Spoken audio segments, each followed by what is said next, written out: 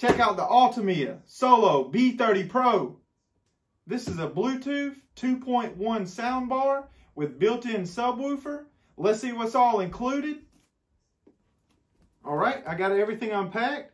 It comes with some instructions, a digital optical cable, an audio cable, a power cord, a remote control, and some mounting hardware.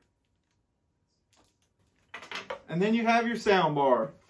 This thing is slick. I really like the design on this. It is very portable. I can take this out to gatherings, but I'm going to set this up on my gaming system on my PC. You can set this up on any size TV.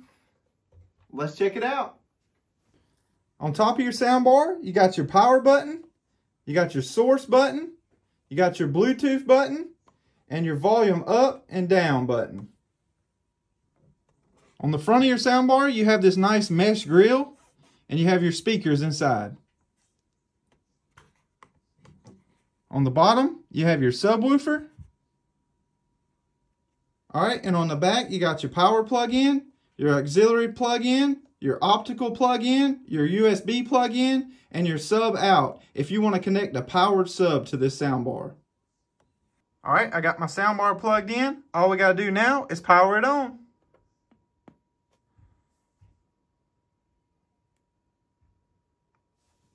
So we're going to be connecting this to the PC via Bluetooth. So now all we got to do is hit the Bluetooth button.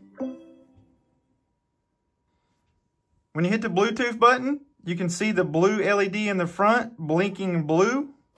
That means it's ready to connect. Just like that. Now you got a solid blue line. That means it's good to go.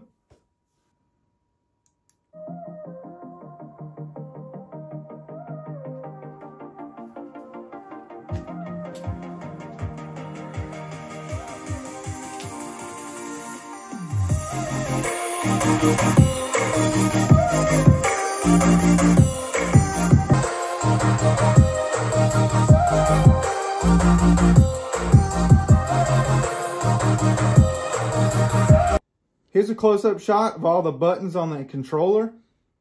You got your Bluetooth, your input, several different buttons. I highly recommend you check out this sound bar. I was very impressed with the sound on it. It was like crystal clear and it had really good bass. I mean, I want, I'll be upgrading from these. It blew these out the water. It wasn't even close. If you want some crystal clear sound and some great bass, check it out. It'll be linked down below.